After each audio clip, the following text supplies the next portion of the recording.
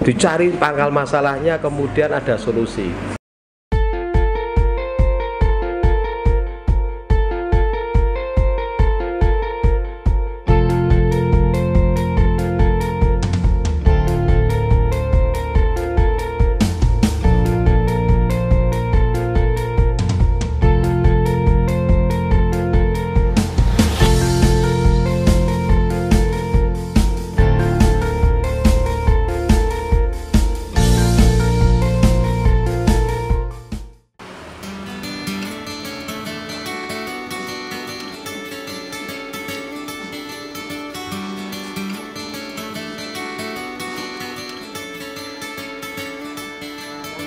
Guys, jumpa lagi dengan saya Reno Chandra Sangaji, Sobat Radar Jogja dan sahabat Reno.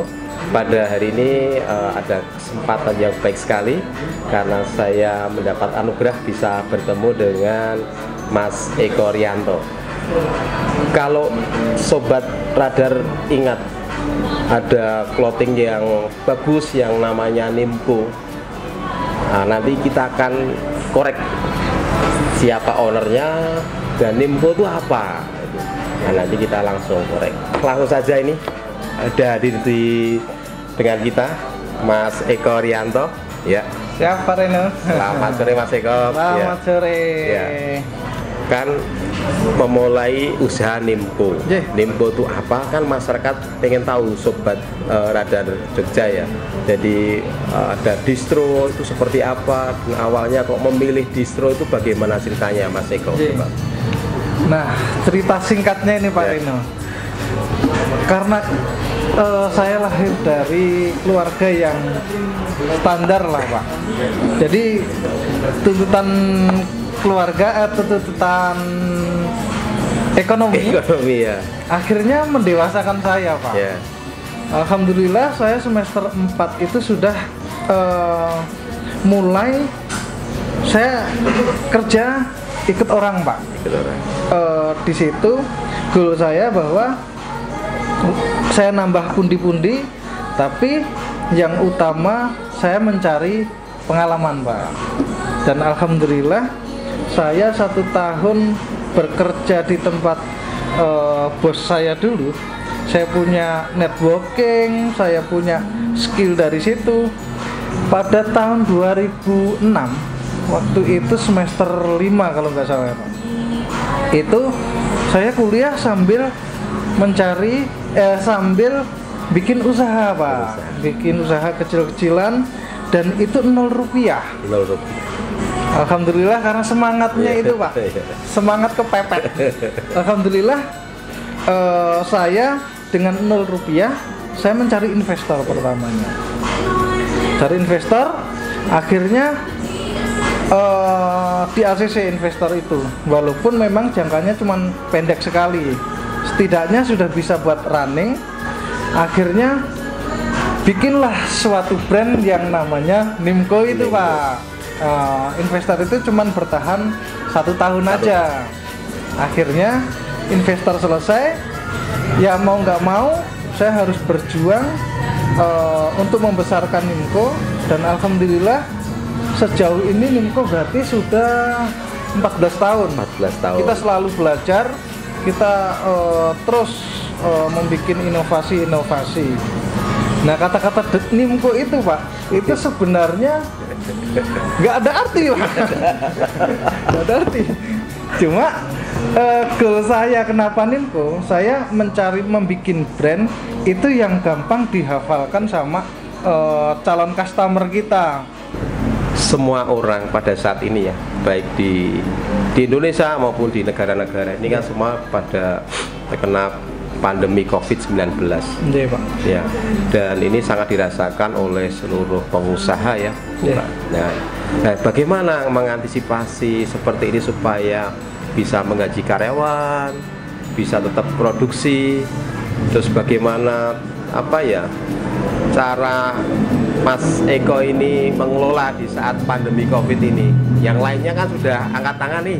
Iya. Ada yang tiarap. Nah ini tokonya masih buka, masih ada pengunjung. Ini bagaimana? Kiat-kiatnya ini. Alhamdulillah Pak, masih dikasih rezeki sama Allah Subhanahu wa taala. Yang pasti eh, memang semuanya dapat dampaknya dari pandemi ini, Pak. Tentunya di usaha saya pun juga eh, sedikit banyak dampak itu eh, kita rasakan.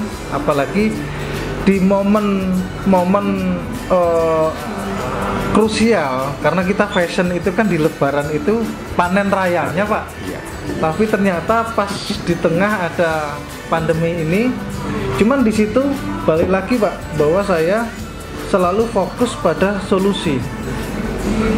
Nah saya berpikir dengan kondisi seperti ini kemungkinan ketika kita fokus di selling itu kayaknya juga agak lumayan berat pak jadi kita lebih memaksimalkan di online-nya Online. pak di online-nya tentunya karena kita juga ada tim IT di kantor jadi nggak cuman sekedar online tapi juga dibarengin dengan eh, Strategi ya. strateginya pak digital marketingnya Iya. pun kita Pasarannya si- siapa yang jalankan segmennya seperti apa nah dari situ alhamdulillah eh, mendapatkan ilmu yang baru mendapatkan pundi-pundi dengan terobosan yang baru yang setidaknya di pandemi ini kita alhamdulillah masih bisa jalan pak alhamdulillahnya seperti itu Oke, eh, pemirsa Radar Jogja. Jadi bagaimana solusi tadi bisa diciptakan ya dari Mas Eko tadi? Eh, bagaimana pangsa pasarnya buka online? Kemudian setelah online-nya itu mana yang paling eh, menguntungkan?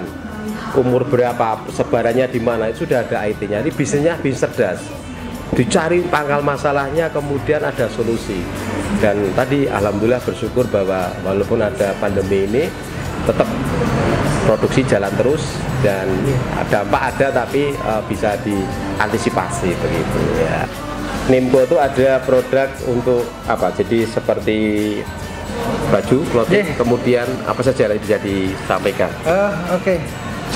Nah, alhamdulillah eh Nimco dari atasan sampai bawahan ada, Pak. Atasan sampai bawahan sampai kaos kaki pun kita juga ada. Jadi ada kaos, kemeja, celana pendek, celana panjang, denim, eh, sendal, itu kita komplit, Pak. Kita komplit dan eh, kita juga ada inovasi baru, Pak. Bagi teman-teman yang pengen mengaplikasikan desainnya nah itu bawa aja ke Nimco jadi kita nyediain print itu bisa buat satuan pak. Jadi desain inspirasinya apa kita langsung cetak dan bisa ditunggu. Itulah eh, inovasi baru kami pak. Guys s- selain nanti dapat 50% diskon di sini juga ada inovasi. Punya desain yang jos cetak langsung di kaos yang dikendaki lang- langsung bisa dipakai nah ini kan yang luar biasa oke Eh, demikian guys Eh, jangan lupa belanja di Nimco aman karena memakai protokol kesehatan dan diskon. Nah, ini 50% untuk produk tertentu. Nah, kemudian yang di rumah saja silahkan dikunjungi di Shopee. Nanti juga ada diskon 50% untuk produk tertentu. Ingat bahwa UMKM adalah eh, usaha yang paling kuat di antara usaha lainnya di tengah pandemi Covid ini, termasuk Nimco ini yang sudah berkelas, UMKM yang berkelas. Jadi kita dukung produk dalam negeri, produk lokal yang nanti bisa bertahan dalam kondisi apa pun. Eh, terima kasih Mas Eko, lancar selalu tos. Ya, sukses selalu untuk Nimco. amin Ya. amin sukses juga buat Pak Reno pak Ya. amin Oke, sobat Rada Jogja dan sahabat Reno, uh, masih dengan kami. Tunggu kehadiran saya di program Jendela Usaha.